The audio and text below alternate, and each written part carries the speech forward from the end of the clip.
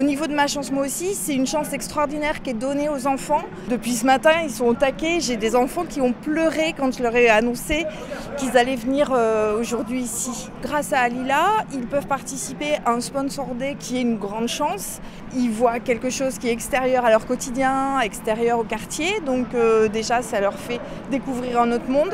C'est un, un vrai moment de partage euh, avec ces joueurs.